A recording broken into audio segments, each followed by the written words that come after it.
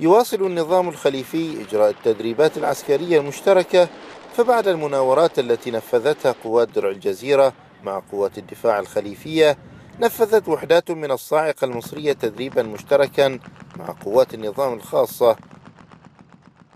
ويجري ذلك في سياق ما أسماه مراقبون بمساعي النظام الحثيثة لرفع رصيدها في التسويات السياسية المزمعة.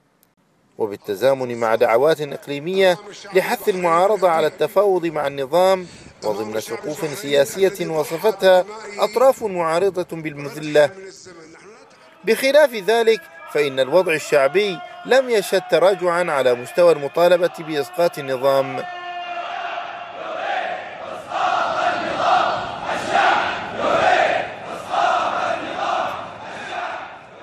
وأظهر الحضور الحاشد في مواكب تشييع الشهداء على نجاح القوى الثورية في الحفاظ على موازين القوى وأن النظام غير قادر حتى الآن على إخضاع أبناء الشعب والذي لا زال يقدم دعمه للحراك الثوري والمحافظة على البيئة الحاضنة للثورة والتحركات الميدانية الرادعة لقوات الإرهاب والقتل.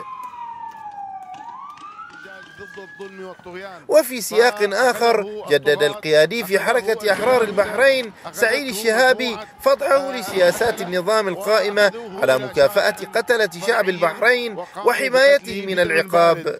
ما مصير هؤلاء القتلة؟ هؤلاء ستقدم لهم الجوائز وستقدم لهم الميداليات لأنهم قتلوا شعب البحرين. هذه هي فلسفة وعقيدة النظام الذي يحكم البلاد. وقال الشهابي بأن تساقط الشهداء يتم وفق سياسة النظام التي تستهدف إبادة شعب البحرين وبوسائل القتل والتهجير واستجلاب الآخرين من خارج البلاد وتجنيسهم. ودعا الشهابي الجميع للوعي بهذا المخطط ومناهضته قبل أن تحل الكارثة على الجميع. ويوقف هذه الإبادة الشرسة.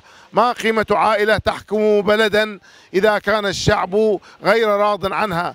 ما معنى أن يصمت هذا العالم على القتل والتعذيب ويدعم المحتلين وبدوره أكد الناشط عباس العمران استمرار الاحتجاج ضد السياسة البريطانية التي وصفها بالنفاق وذلك نتيجة تغطيتها لجرائم النظام الخليفي ووقوف البريطانيين لإبطال أي قرار من شأنه إدانة النظام وإجباره على رفع يده عن شعب البحرين. ومن ضمن ما نقوم به الاحتجاج على السياسة البريطانية المنحازة والمنافقة التي تدعم النظام الخليفي.